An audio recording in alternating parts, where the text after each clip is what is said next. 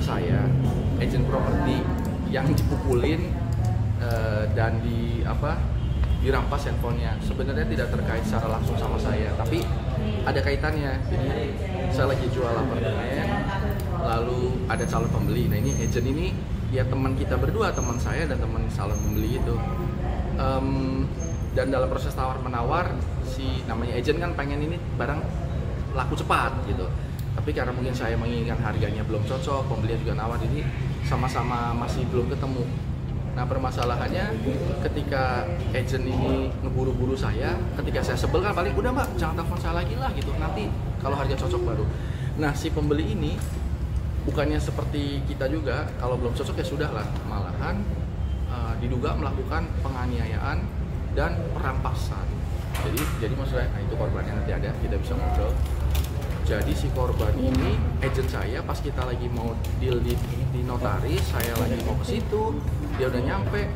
Malahan dipukulin terus di apa dirampas handphonenya. Ini kan membuat jadi terkait sama saya karena apa? Transaksi apartemen ini kan jadi mundur jadi batal atau apa pun itu. Sementara si agentnya ya melaporkan ke kepolisian. Nah saya sebagai secara moral saja membantu untuk untuk mempercepat permasalahan ini. Gitu. Kejadiannya boleh tahu di mana mas?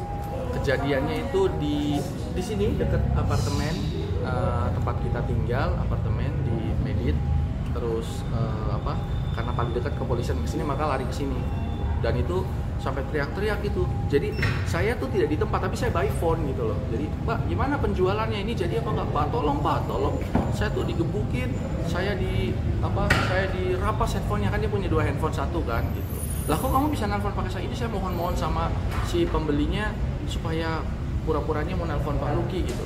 Akhirnya itu tadi Eh, malahan nelfon saya kan. Saya bilang udah kamu lari ke satpam.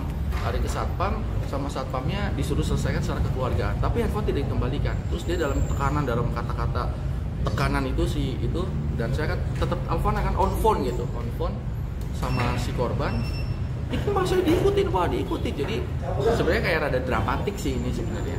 Memang tidak terkait secara langsung sama saya cuman saya selaku penjual apartemennya yang agentnya digebukin ya saya merasa prihatin. Apalagi ini perempuan dipukulin sama laki-laki. Nah nanti di sinilah nanti akan ada pembuktian. Jadi si si eh, apa terlapor itu sudah datanya sudah masuk. Karena kan kita mau jual beli apartemen semuanya kan jelaskan data-datanya juga ada. Jadi merampas handphonenya. Memang pas lagi dipukul saksinya tidak ada ya pemukulan Iya. tapi pas teriak-teriak di ruangan itu kan sampai orang pada datang semua dan handphonenya dirampas saksinya banyak Mas bisa ditegaskan lagi ini rekan bisnis mas berarti ya? Iya, ini rekan bisnis saya kan saya punya beberapa apartemen yang kadang-kadang suka dijual di apa. Nah ini uh, agent ini ya yang melakukan hal itu gitu. Nah masalahnya kan uh, pemukulan ini terkait apa maksudnya memang tidak terkait sama urusan jual, jual beli. Jual beli itu urusan perdata lah, urusan niaga.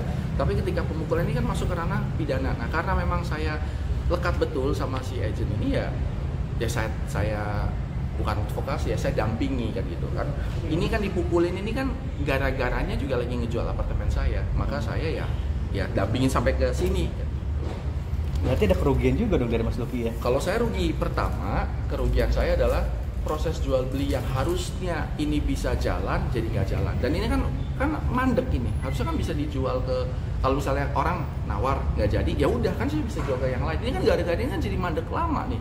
Gitu. Saya sudah tunggu berapa kali saya sudah berapa kali datang ke pun tetap orangnya tetap tidak ada itikat baik. Jadi saya rasa eh, ini merugikan saya. Makanya saya mudah-mudahan ini bisa cepat selesai.